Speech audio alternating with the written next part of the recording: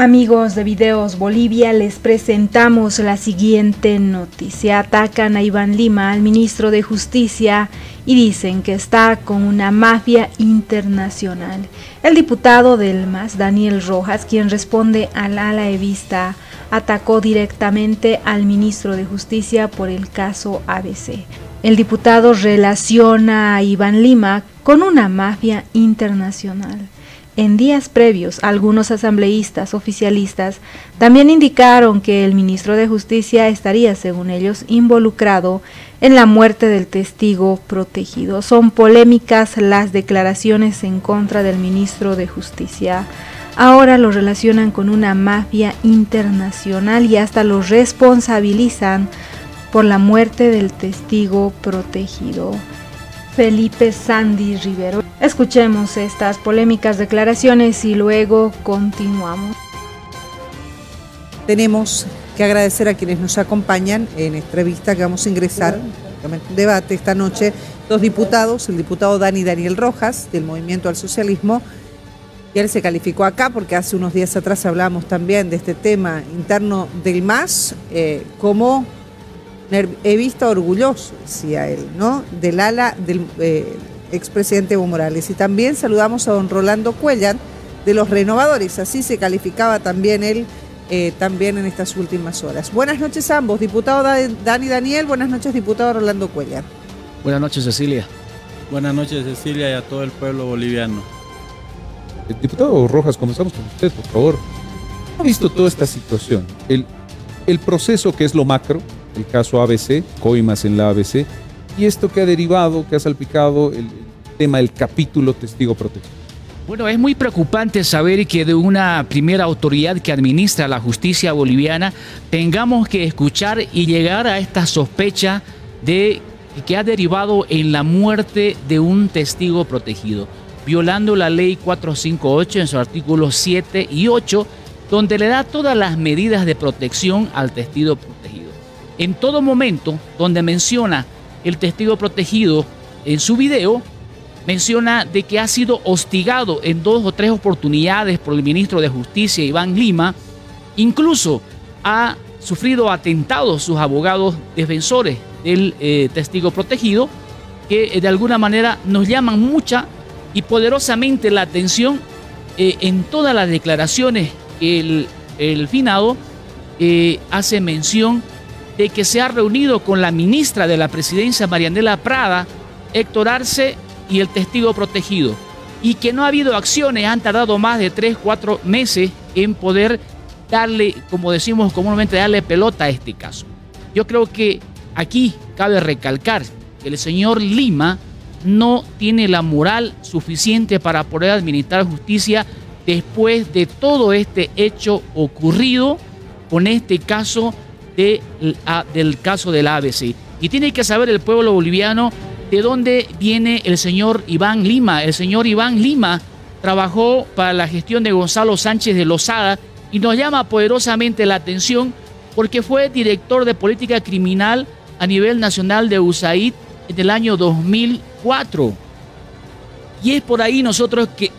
Y también fue abogado de la empresa British Grass defensor, abogado defensor de esta empresa cuando trabajó en el año 2004. Y yo creo que, ¿por qué menciono esto? Porque casualmente el testigo protegido se fue a Estados Unidos y este ha sido casualmente abogado de unas empresas transnacionales de los Estados Unidos. nosotros pensamos y sospechamos de que el ministro Lima esté ligado a una magia internacional que de alguna manera eh, se dedica ya estas actividades que generan zozobra en todas aquellas personas incluso en nosotros que de alguna manera denunciamos ante el pueblo boliviano. ¿Qué quiere decir, diputado Dani Daniel Rojas, por favor, para aclarar antes de escucharlo también al diputado Cuellar? ¿Qué quiere decir concretamente con haber mencionado todo esto y haber eh, eh, señalado que, el ministro puede estar relacionado a una red internacional? ¿Qué quiere decir usted con todo esto? Sí, para quiere decir? No, no logro escucharlo bien lo que acaba de decir con, esos relacionamientos y que está ligado el ministro de Justicia a una mafia internacional, es lo que acaba de decir. Efectivamente. ¿Qué, quiere decir con eso? Con esto queremos decir que él ha tenido nexos. Sospechamos que el ministro Lima ha tenido nexos eh, con una mafia internacional que de alguna manera quizás haya tenido participación en eliminar al testigo clave que de alguna manera lo vinculaba con este tema de la corrupción del ABC. Pero él no se la contaba que él, fallecido, el testigo clave, había dejado un video y un testimonio de todo el calvario y el caos que habría sufrido a la hostigación por parte del ministro Lima en constantes eh, hostigaciones a través de la ley, violando la ley 458. Diputado Cuellar, ¿qué dice usted al respecto de todo esto? Bueno, nosotros queremos decirle al pueblo boliviano que Héctor Arce inventó esta telenovela. Hoy Cecilia se llevó la segunda cesación a las 10 de la mañana. Estaba notificado Héctor Arce y no asistió. Ni la primera cesación de este proceso de supuesto corrupción ni esta segunda cesación ya no participó. Fue un invento. Cecilia, aquí tengo una carta notariada del supuesto testigo protegido, una carta notariada de la, la Paz 22 de abril del año 2022.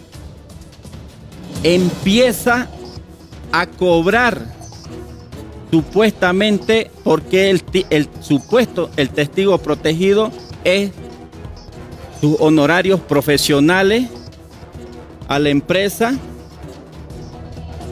china. Acá firma el testigo protegido. Desde acá, qué raro, del 22 de abril este testigo empieza a extorsionar a la empresa china. Se reúne con el delincuente de Héctor Arce. Mire Cecilia, como la empresa china no le da la plata que extorsiona el testigo protegido que él firma, la notaría número 95 Pasan tres meses, 22 de abril, mayo, junio, julio, y el diputado Héctor Arce en agosto se va a Sucre, arma su show y denuncia corrupción directamente a Henry Nina, directamente al ministro de Gobierno Firma Héctor Arce. Diputado Cuellar, pero el primer documento que usted muestra, y para que quede claro, porque es raro que en un documento, entre comillas, de extorsión, documento que obviamente porque la extorsión es un, es un delito en realidad, ¿no? Quede un documento por escrito, quede un documento notariado, ¿es un contrato de trabajo o es por, servicios prestados? Pues no creo que sea un contrato de extorsión, como usted dice, en este caso que quede notariado. Acá, Cecilia, tenemos otro documento donde la empresa china Hardware denuncia al testigo protegido porque ¿qué es lo que dice este, este por extorsión? ¿Qué es lo que lo denuncia? ¿Qué fecha tiene? Por contrato de palabra. ¿Qué fecha tiene?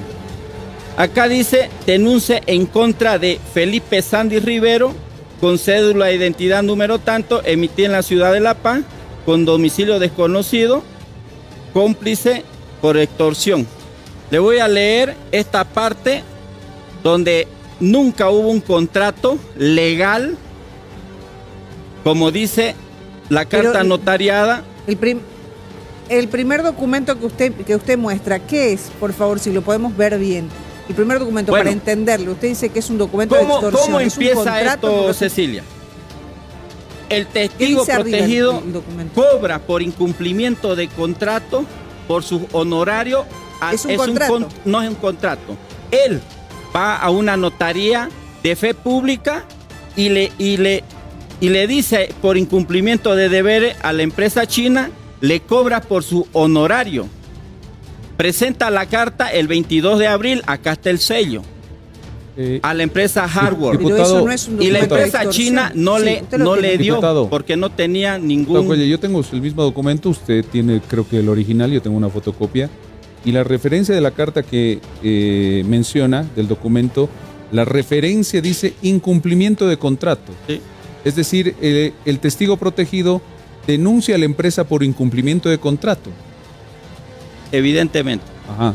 E, eso es, extorsión. no lo denuncia penalmente. ¿Pero eso es extorsión para usted? ¿O, qué? ¿Qué elementos se encuentra en ese documento de extorsión? el testigo protegido no presenta un contrato legalmente establecido para que no presenta ningún documento ni dice el monto. Solamente le dice páguenme mi honorario. ¿Mm? Y la empresa... pero eso, ¿eso para usted es extorsión o es cobrar por un servicio que alguien ha prestado? Y encima ponerlo ante la ley, porque digamos que llega una notaría. Eh, ¿Para usted eso es extorsión? Mire el informe de la denuncia, Cecilia. Conforme se tiene la nota suscrita por Felipe Sandy Rivero en fecha 22 de abril del 2022, este extremo se habría acordado verbalmente. Nunca se hace un contrato millonario de servicio verbalmente, como lo dice acá. Es importante aclarar que la empresa Chet Bolivia, conforme a sus normas internas y su riguroso procedimiento, de contratación no tiene permiso de celebrar contratos verbales de ninguna naturaleza. A ver, diputado, diputado, quiero que escuche y prepáreme por favor, producción, la F3, la F3, eh, lo que dijo sobre esa denuncia que acaba de mostrar que hizo la empresa china contra el testigo protegido. Quiero que escuche lo que dijo el fiscal de distrito del Departamento de La Paz, William Zalaves. Se le preguntó, ¿qué pasó con esa denuncia de la empresa china, de la empresa checa, contra el testigo protegido, esa que acaba de mostrar el diputado Cuellar. A ver, esto fue lo que dijo el fiscal. No tenemos una investigación abierta. Sí había una investigación, existe una investigación, la cual ha sido rechazada por el fiscal Juan Laura Chique en su momento. Ahora esa, ese rechazo ha sido impugnado y ese rechazo ha subido hacia el despacho de la Fiscalía Departamental. Hay una investigación en La Paz, pero no activa me permito consultarle, diputado Rojas, esa denuncia hizo la empresa china contra el testigo protegido fue rechazada, dice. Yo creo que acá el colega más parece abogado del ministro de Justicia de, Iván Lima. colega Rolando Cuellar debe darse un poco de dignidad.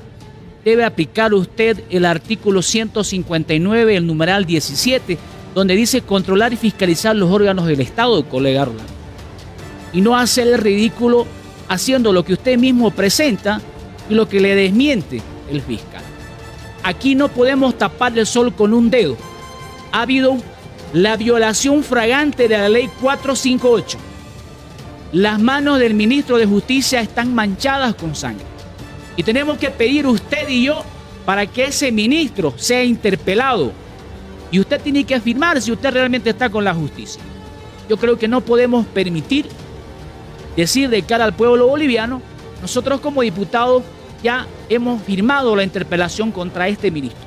Y nosotros le culminamos y le decimos al vicepresidente, al presidente de la Asamblea Legislativa Plurinacional, por favor, tenemos N de filas interpelaciones contra los ministros y yo creo que es hora de ejecutar antes de que estos ministros sigan manchándose las manos con sangre, como ha pasado la violación flagrante de este testigo protegido a través violando la ley 458. Yo creo que no podemos permitir más. Diputado Rojas. Perdón. Ustedes están planteando la interpelación del ministro Limac. ¿Buscan la censura del ministro Limac? ¿Perdón? ¿Buscan la censura?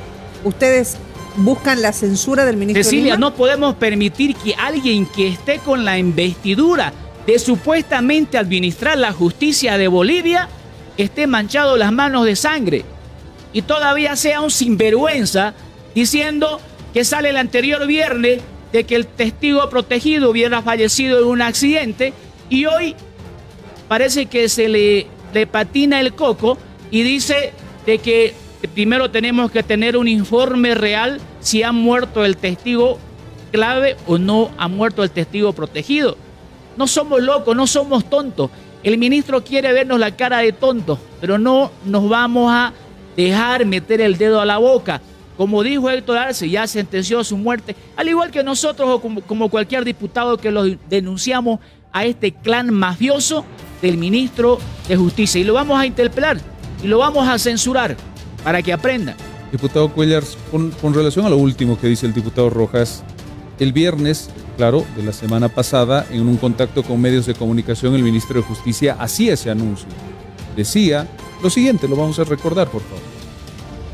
Hablemos del testigo protegido, diputado Arce. ¿Dónde está su testigo protegido? ¿Por qué no le ha informado al país que el testigo protegido ha fallecido en los Estados Unidos? ¿Por qué no le informa al país que los millones que usted ha denunciado ya están depositados en la cuenta del Banco Visa de la empresa china? Hablemos seriamente, diputado Arce. Yo creo que es momento de hablar con la verdad y dejar de victimizarse.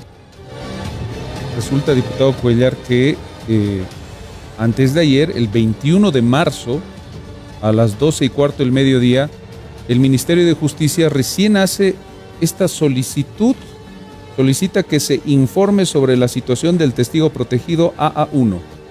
No, no es, yo preguntaba hace rato, me preguntaba y le preguntaba a la gente, ¿no se hace al revés las cosas? ¿No se solicita primero la información y después se la menciona? Bueno, es que depende del proceso. Si era el testigo protegido de Héctor Arce, era su prueba fundamental, importante, Qué raro que el testigo protegido no presente requerimiento, uno, de custodia, segundo, no presentó que él iba a irse a los Estados Unidos, él no podía salir del país. Este testigo protegido ya es un prófugo de la justicia y esto ya no tiene sustento legal. Los 9 millones de bolivianos estaban en, en el depósito de la empresa. Y pero Héctor Arce, ¿qué dijo? Que la plata se habían distribuido los funcionarios, el ministro de Obras Públicas, Henry Nina, y ahí está la mentira.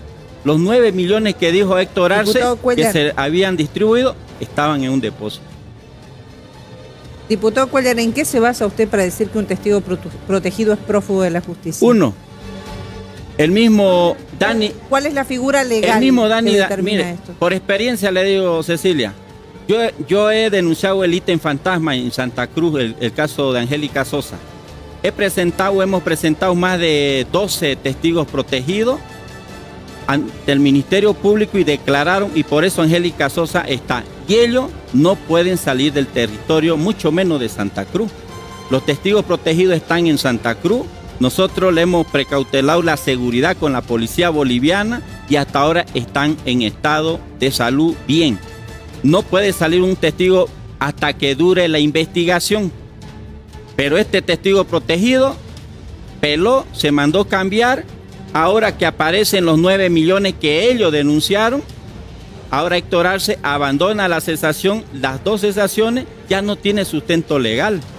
Aquí estamos mostrando, y mira a Cecilia, este video que todo el país lo ha visto, véanlo pues bien, lee el memorial que presenta Héctor Arce en Sucre, que ha hecho Héctor Arce y anoche lo dijo en su mismo canal, he, copiado y he pegado lo que me pasó el testigo protegido. Lo que, lo que lee este testigo protegido es este memorial que presentó Héctor Arce en Sucre y anoche en su canal, copia y pega, copia pay. Clarito, no tiene fundamento. A ver, diputado Rojas, ¿qué dice usted? A ver, eh, el aire es gratis para poder hablar, ¿no? Pero en un medio de comunicación cuesta caro. ¿Saben qué, eh, colega Rolando? Y yo le desmiento. No sé si ha leído la ley 458, eh, querido colega Rolando Cuellar. Lea el artículo 6, 7 y 8. El testigo clave puede pedir irse donde él desea y nuestro gobierno, a través del ministro de Justicia, Ministerio Público, Transparencia, le tiene que otorgar los recursos donde el testigo clave se sienta cómodo, se sienta seguro.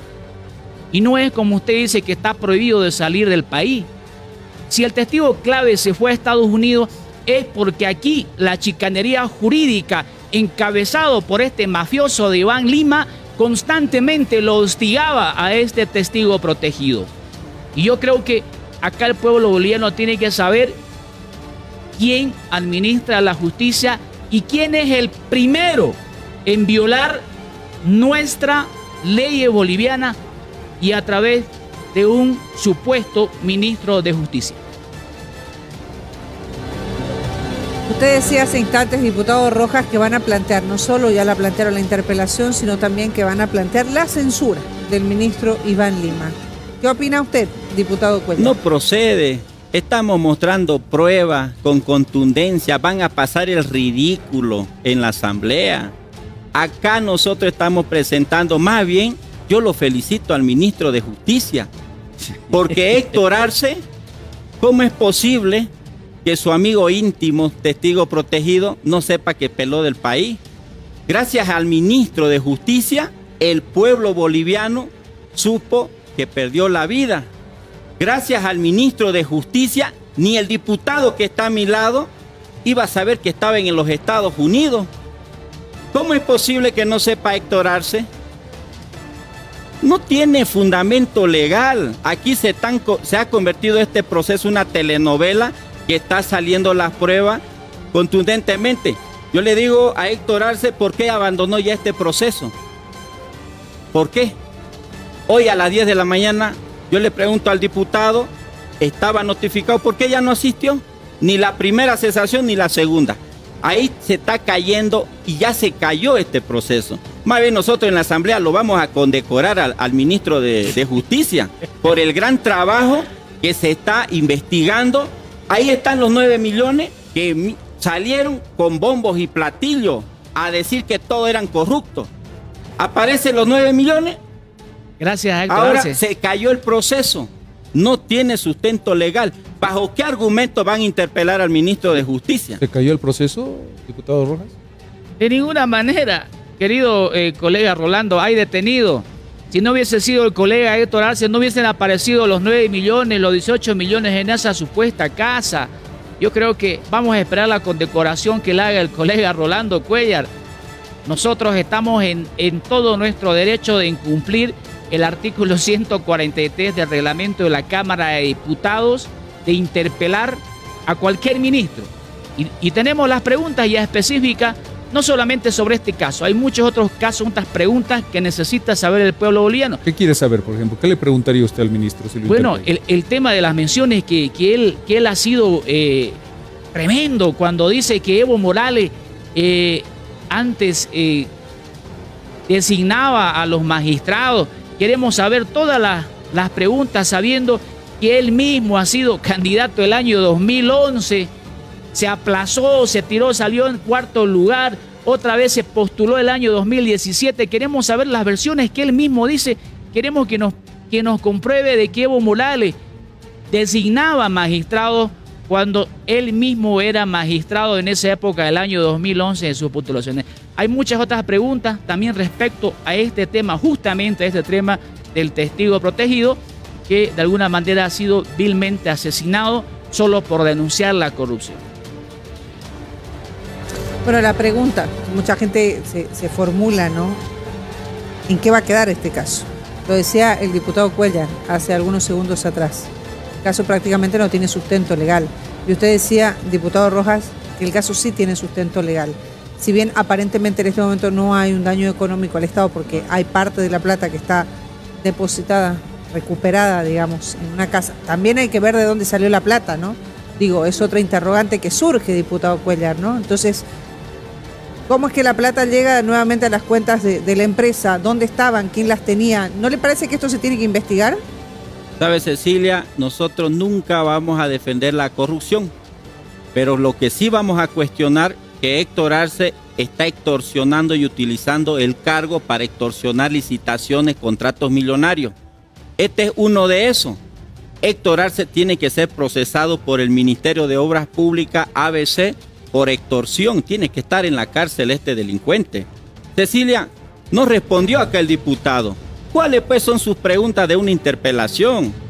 Acá, con esta carta notariada, cobrando antes que presenten la demanda penal, tres meses antes, que está cobrando por supuesto eh, honorarios profesionales y no muestra un contrato, todo abogado cuando trabaja en una empresa privada y mucho menos cuando hay miles de millones.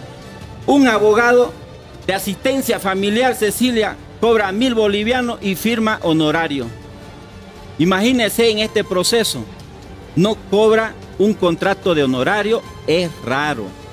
Es muy raro que el supuesto testigo protegido, después de tres meses, aparezca Héctor Arce en agosto, formalizando. ¿Por qué? Porque la empresa china no le dio el porcentaje que estaba pidiendo.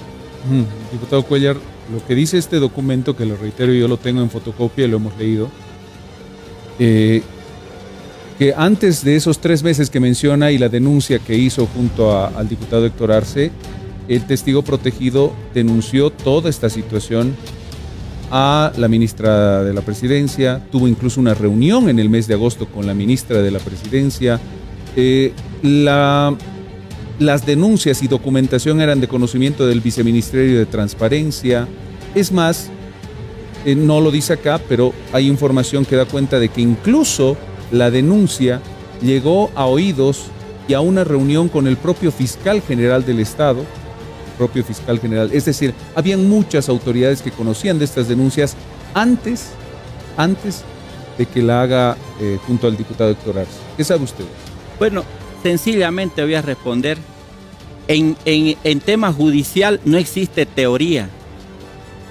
Cuando Rolando Cuellar denuncia un acto de corrupción, yo siempre hemos sido serios. Hemos presentado recepción al fiscal general de recibido, al Ministerio de Justicia, Ministerio de eh, Casa Pueblo, la Casa de Gobierno, vía correspondiente. Y uno genera prueba. Pero si habla que denunció a la ministra de la Presidencia, a otros ministerios, no existe prueba, son teoría y en tema legal eso tiene vicio de nulidad y no es prueba ni aquí ni en la China. Bien. ¿Qué dice usted, diputado? Ya para finalizar, diputado Rojas, ¿hubo corrupción? Ha sido flagrante. Si no hubiese denunciado el colega Cuellar, eh, perdón, el colega Héctor Arce, eh, no se hubiese devuelto la plata. De alguna manera nosotros vamos a pedir al ministro de Gobierno a la Fiscalía que por lo menos le brinden las medidas de seguridad a nuestro eh, colega diputado Héctor Arce. Nos solidarizamos por las constantes amenazas que él está recibiendo sobre este caso eh, de corrupción millonario. Y decirle acá al colega, no todo lo que usted presenta, colega Rolando Cuellar, son ciertos. No se olvide cuando presentó usted una hoja donde decía que el movimiento al socialismo había financiado un narcotraficante, lo rechazaron. Así que no todo lo que usted presenta quiere decir que sea cierto, colega Rolando Cuellar. Muchas gracias. Les agradecemos a ambos. Nos ha acompañado el diputado Daniel Rojas y el diputado Rolando Cuellar dándonos sus criterios, su punto de vista, su opinión, su análisis con relación al caso ABC. Esas eran las declaraciones del diputado evista Daniel Rojas, quien atacó al ministro de Justicia y lo relacionó con una mafia internacional. En días previos, algunos asambleístas del MAS y también de la oposición indicaban que el ministro de Justicia estaría, según ellos, involucrado en la muerte del testigo protegido. El diputado del MAS, Daniel Rojas, indicaba que desde la cúpula interna, es decir, desde el ala radical, se sospecha que el ministro de Justicia, Iván Lima, habría tenido supuestos nexos con una mafia internacional que estaría relacionada con la muerte del testigo protegido del caso Coimas de la administradora boliviana de carreteras ABC. Sospechamos que Iván Lima tuvo nexos con una mafia internacional que de alguna manera quizás haya tenido participación en eliminar al testigo clave que de alguna manera lo vinculaba con este tema de la corrupción, afirmaba Daniel Rojas. Según este diputado, Iván Lima no contaba con que el testigo protegido Sandy dejaría un testimonio grabado en un video y que se conocería a través de los medios de comunicación y las redes sociales el presunto hecho de corrupción que hoy involucra a ABC. Iván Lima no contaba con que el testigo había dejado un video de todo el calvario y el caos que habría sufrido por parte del ministro Lima, violando la ley 458, aseguraba, pidiendo que la autoridad gubernamental sea interpelada por la Asamblea Legislativa. El ministro Lima se encuentra ahora en el ojo de la tormenta debido a las recientes declaraciones que dio respecto al testigo protegido del caso Coimas en ABC. Cabe recordar que la autoridad dijo que si bien tiene información de que el testigo ha muerto, esta confirmación solo podría darse al 100% cuando cuenten con un certificado tramitado entre Bolivia y Estados Unidos. Pero no olvidemos que fue Iván Lima, el ministro de Justicia, quien daba la noticia del fallecimiento del testigo protegido y le decía a Héctor Arce que informe a todos que su testigo protegido habría fallecido en un accidente de tránsito. ¿Qué opinan ustedes? Porque creen que el ministro de Justicia contaba con esta información y nadie ni el diputado Héctor Arce conocía del fallecimiento del testigo protegido. ¿Qué opinan ustedes frente a este hecho que llama tremendamente la atención de lo que estaría pasando en este escándalo de corrupción y coima millonaria en la ABC. ¿Creen ustedes, como el diputado del MAS, Daniel Rojas, que el ministro de Justicia podría estar relacionado con algún tipo de mafia internacional? ¿Qué opinan ustedes? No olviden dejarnos sus percepciones al respecto.